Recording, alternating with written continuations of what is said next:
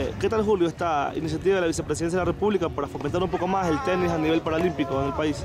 No, realmente es algo muy lindo. Eh, me parece un lindo proyecto, algo que se está impulsando de la mejor manera. Y bueno, yo eh, por un lado muy en- encan- encantado de, de poder estar aquí, de poder compartir con ellos un rato, poder divertirnos y bueno, la verdad eh, es especial y bueno, estoy realmente contento.